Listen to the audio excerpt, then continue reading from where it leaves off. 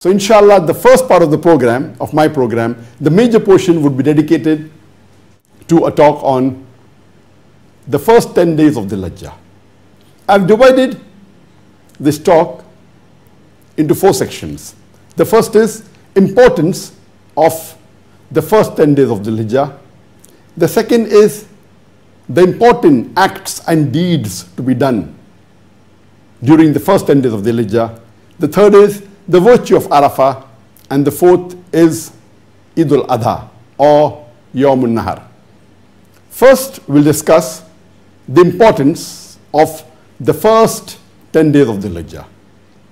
This is a forgotten sunnah of our beloved Prophet. You may have sinned all year. You may have missed doing good deeds in the month of Ramadan. You may have missed the last 10 nights of Ramadan. You may have missed doing good deeds during Laylatul Qadr. This is your opportunity. Make the best of it. The first 10 days of the Hijjah. Even if you have not sinned the whole year, maybe you did some minor sins. Maybe you did ibadah in the month of Ramadan. Even you might have got the last 10 nights of Ramadan. Even you might have prayed the full night of Laylatul Qadr. Yet, you cannot afford as a Muslim the opportunity during the first 10 days of the Hijjah. Most of us Muslims, we are normally aware of the importance of Ramadan and we prepare ourselves. And I remember when I was a kid, more than 30 years back, when I was in school, about 45 years back, we used to prepare ourselves for Ramadan and we knew the importance of Ramadan, even of the last 10 nights of Ramadan. But we never heard about the importance of the first 10 days of the Hijjah. Alhamdulillah, now since social media has started, this is being discussed by the speaker. At my time when I was a kid, when I was in school, when I just entered college, we never heard the speaker speaking about the importance of 10 days of the Hijjah. I remember the first time I heard was maybe about 15 years back in the social media. When we got involved in the field of dawah, more than 25, 30 years back, that's the time we came to know about the importance of the first 10 days of the Hijjah. And it was about 15 years back that the first time I heard in the social media a speaker speaking about the importance of the first 10 days of the Hijjah. And Alhamdulillah, year by year, it's increasing and more and more people are speaking about the importance of the first 10 days of the Hijjah. That is the reason I thought I will dedicate the major portion of this session today to the first 10 days of the Hijjah. Allah subhanahu wa ta'ala takes an oath in Surah Fajr, chapter number 89, verse number 1 to 2. Allah says, Wal Fajr, Walayalin Ashr, by Fajr, by dawn, by the 10 nights.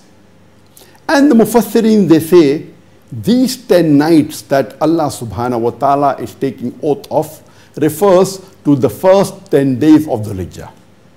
And in many languages, when you speak about the days, it includes the night. When you speak about the night, it includes the day. For example, if I say in English, I spent 10 days in London, but naturally it includes I spent 10 days and 10 nights in London. Depending upon the context, it may include the full day, it may include part of the day, it may include the night, it may not include. Similarly, when Allah, when in Arabic, when the nights are referred to, it may refer to the night only, it may refer to the night and day put together, or it may refer to the day only. In this Surah Al-Fajr, Surah number 89, verse number 1 to 2, when Allah says, Wal Fajr, Walayalin Ashr, by dawn, by the 10 nights. The Mufassirin say, and it's also mentioned in Ibn Kathir, volume number 8, page number 413. And if we refer to the summarized version, printed the English translation by Mahdar Salam, it is volume number 10, page number 468. Ibn Kathir and many Mufassirin say that these 10 nights refer to the first 10 days of Dhul Hijjah. And they agree that these first 10 days of Dhul are better than all the other days of the year. It's even better than the last 10 days of Ramadan. But it's mentioned in Ibn Kathir, volume number 5, page number 412, that though the first 10 days of Dhul are the best days of the full year, the last 10 nights are of Ramadan are the best nights of the year. The scholars differ. Some scholars, few do say that the first 10 days of Dhul are better than the last 10 nights of Ramadan. There are few scholars who say the last 10 nights are better than the first 10 days of Dhul. But the right opinion and the correct opinion is by Ibn Taymiyyah, Shaykh al-Islam. And he rightly said that the first 10 days of Dhul are the best days in the full year. It is even better than the last 10 days of Ramadan. But the last 10 nights of Ramadan, they are the best nights in the full year because it has the Laylatul Qadr. It is the best night in the full year. So the last 10 nights of Ramadan are the best nights because it has Laylatul Qadr. And amongst the days in the full year, the first 10 days of Dhul are the best days in the year because it has the Yawmul Arafah, the day of Arafah. The second place where the Quran refers to the first 10 days of Dhul Hijjah is in Surah Al-Hajj, chapter number 22, verse number 28. Allah subhanahu wa ta'ala says that they witness the benefits which have been provided and they celebrate the name of Allah subhanahu wa ta'ala through the days appointed. Here, these days are referring to the first 10 days of the Hijjah.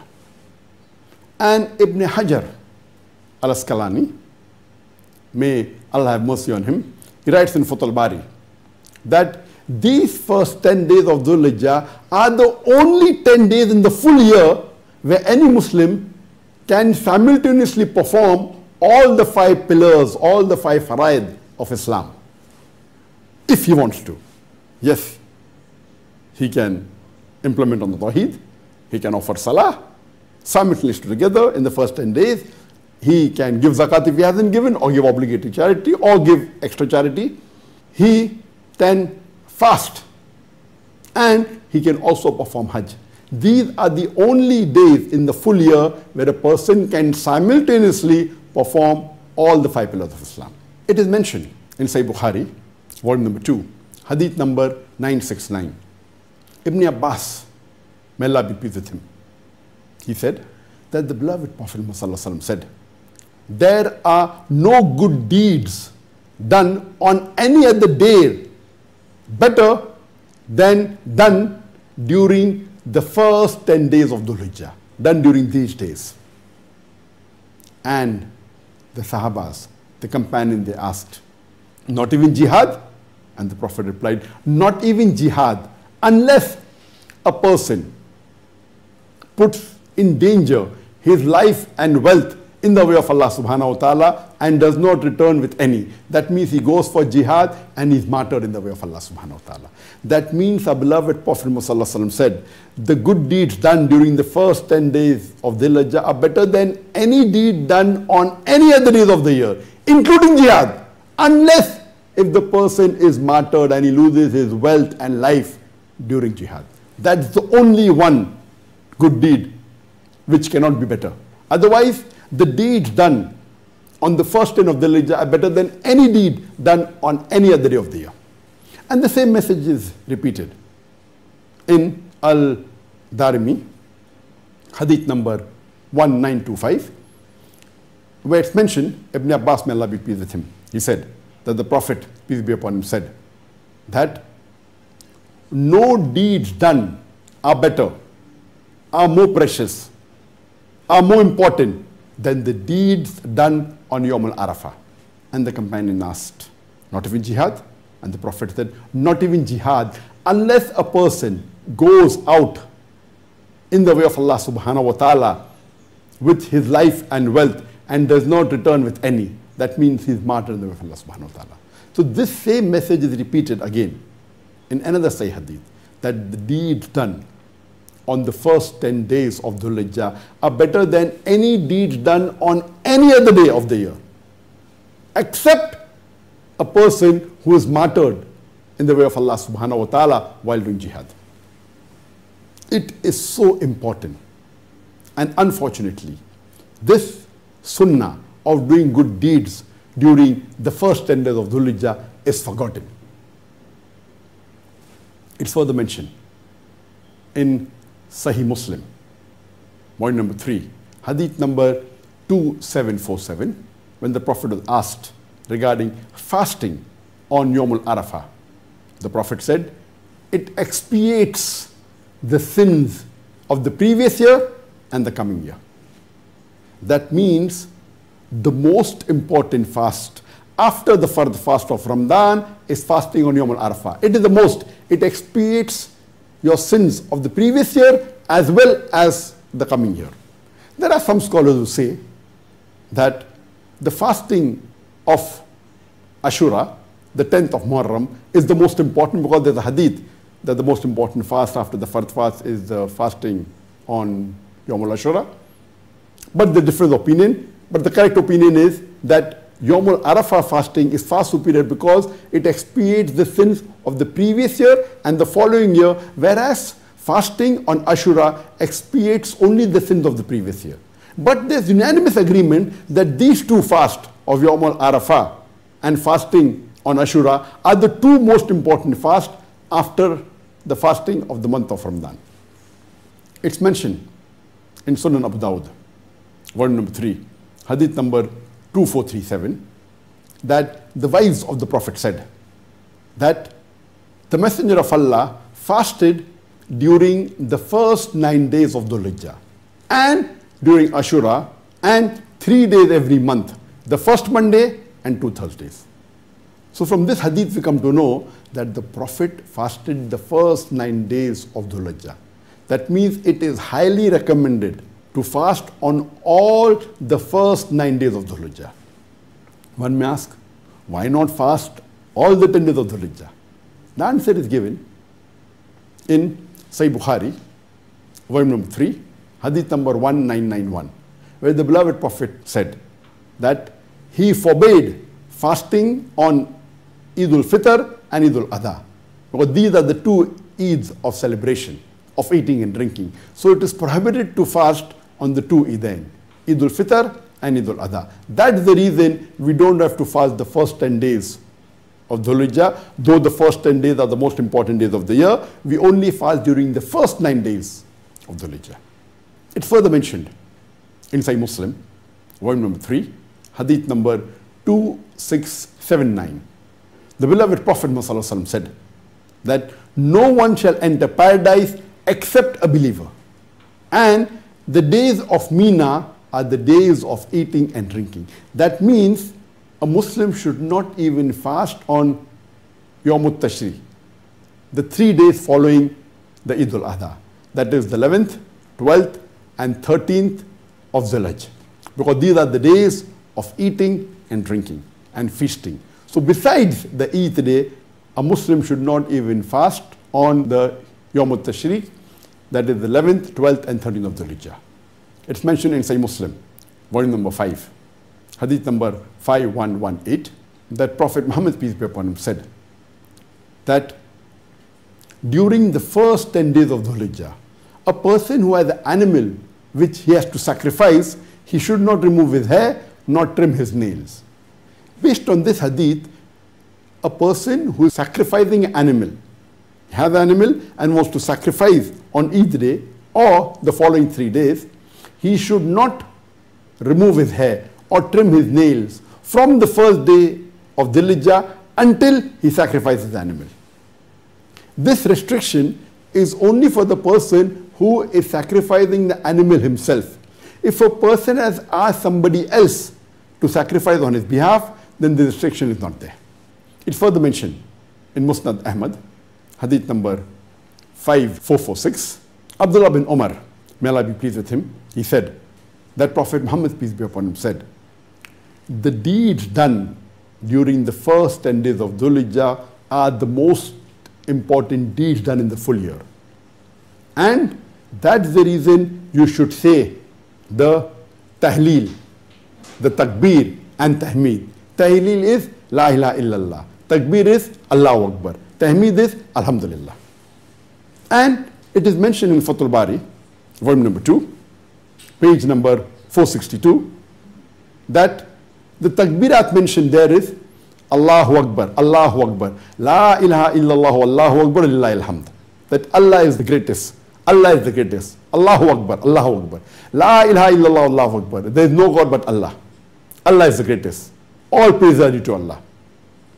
The takbirat is mentioned in Fathul Bari, volume 2, page number 462. Allahu Akbar, Allahu Akbar, La ilaha illallah, Allahu Akbar, lillahi alhamd.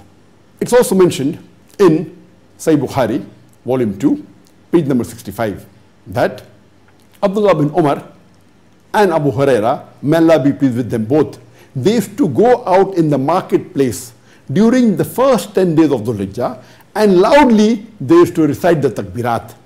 And when the others used to hear him, the Sahabas, they used to repeat on their own. That means it is a sunnah during the first 10 days of Dhul Hijjah to say the takbirat loudly in the marketplace. I have traveled to so many Muslim countries. I have never heard in any Muslim country, Muslims saying loudly in the marketplace, Allahu Akbar, Allahu Akbar, La ilaha illallah, Allahu Akbar, Illahi alhamd. I have not heard. Many Muslim countries I've gone to. Maybe in some Gulf countries there may be people saying, but when I travel, I have not heard this in the marketplace. We should revive this sunnah. And there's another hadith mentioned in Jami Tirmidhi, volume number 6, hadith number 3377, that Abu Darda, may Allah be pleased with him, he said that the Messenger of Allah asked, Do you know the deed which is most loved by Allah?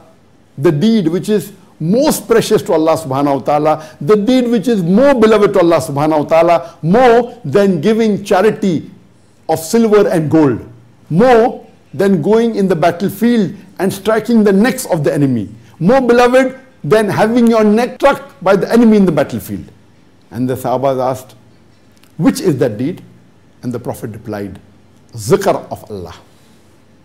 Now this hadith, it is not specifically talking about the first 10 days of Dhul Hijjah. It is generally the deed loved most by Allah is zikr. And the, all the other hadith I quoted earlier says that the deeds, the good deeds done during the first 10 days of Dhul Hijjah are better than deeds done on any other day. So imagine if we do the zikr of Allah during the first 10 days of Dhul Hijjah, especially go out in the marketplace and say loudly the takbirat, Allahu Akbar, Allahu Akbar, La ilaha illallah wallahu akbar. Walillahi alhamd.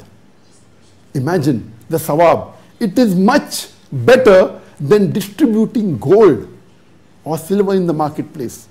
Much better than striking the enemy on the neck in the battlefield or being struck by the enemy on your neck in the battlefield. Let us revive the sunnah and during these 10 days of the Hijjah recite the takbirat on our own and even in the marketplace.